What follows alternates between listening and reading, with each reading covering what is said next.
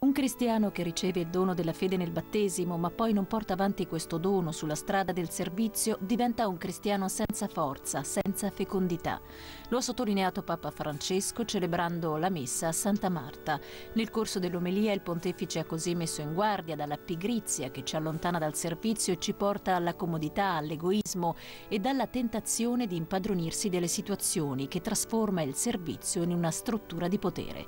Di qui l'invito a seguire sempre le l'esempio di Gesù che ci parla di servizio in umiltà, un servizio in speranza. Nella vita dobbiamo lottare tanto contro le tentazioni che cercano di allontanarci di questo atteggiamento di servizio.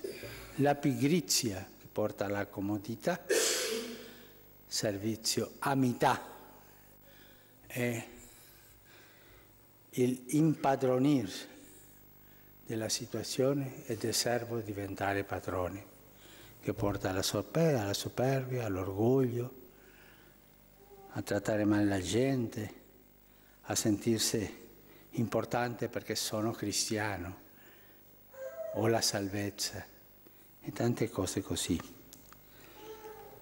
Che il Signore ci dia queste due grazie grandi, l'umiltà nel servizio